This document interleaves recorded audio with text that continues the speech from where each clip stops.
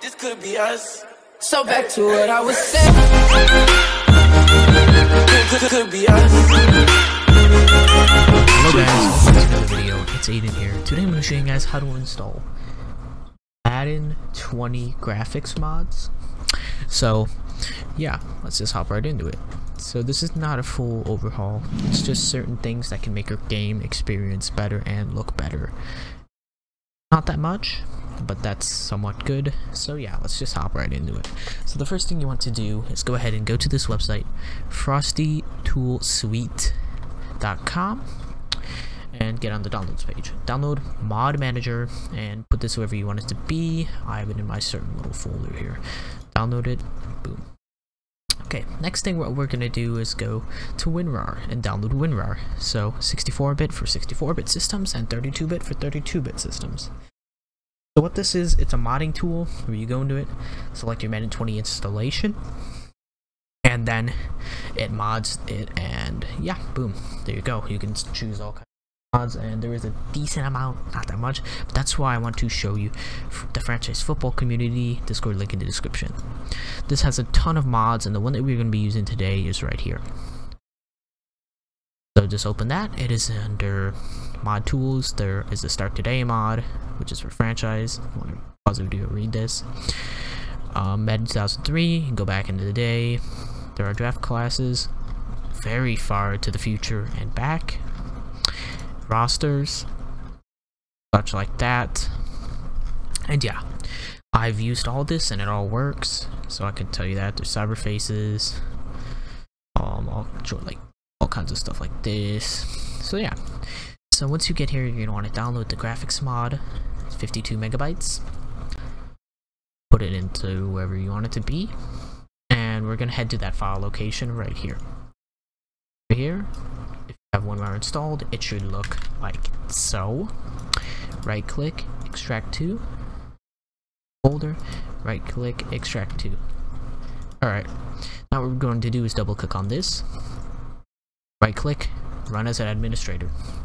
Then we're going to find our new configuration, which for most people, it's going to be on your C drive. So one thing I want to get out here, um, C drive, program files, x86, um, Origin, Origin games, Madden 20, Madden 20 exe, not the trial, that will not work. And then, yeah, one thing I want to get out here is that it has to be on your C drive or it will not work, okay? Will not work at all. It will give you permission errors and yeah. So once you are here, what we're going to do is import mods. Go to our location of our Madden 20 folder.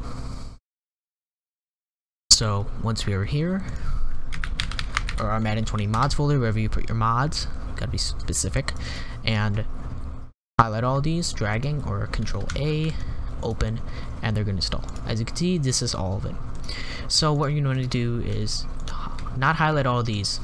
You want to get these three up here and apply. Okay. Now you're all set. Okay. And these are optional. So these are different broadcasts. I like using Fox because it's not for like Monday Night Football or Thursday Night Football, Sunday Night Football. It's just in general.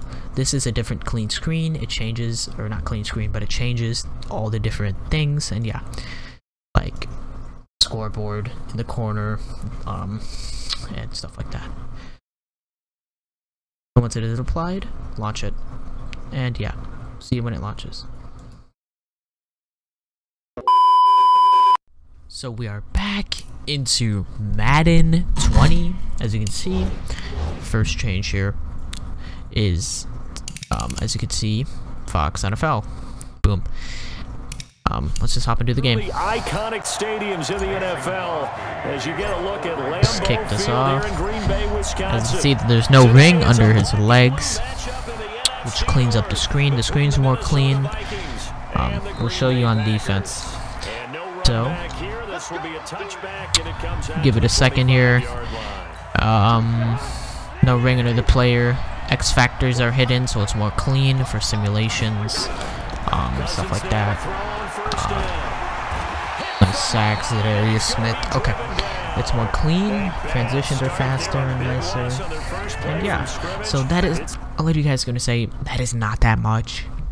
Um, there's should be a lot more than that and there is a lot more than that so there are certain forum websites i will link the one that i use in the description for cleats uniforms color rush fields such like that that you can install too um this works in franchise you know, your custom player base of the franchise um i would not recommend trying it online i don't know if ea likes that um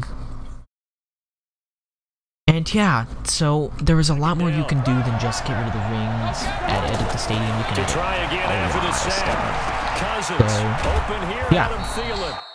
So I hope you guys enjoyed this video. Make sure to like the video, subscribe, and leave a comment. If you need any help, just leave a comment.